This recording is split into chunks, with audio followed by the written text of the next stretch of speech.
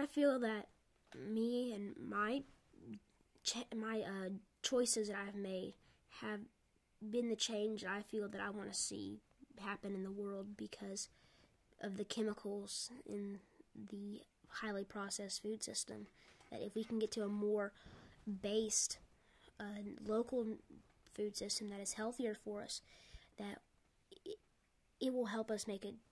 that we can make a change in the world. Think the change in the world that I want to see is to see that we have one of the most healthiest uh, ecosystems and food systems that will actually provide us with good, healthy, nutritional food. And I'm advocating for that, and I hope that other people will help and do that too and be able to make a difference in their own purpose.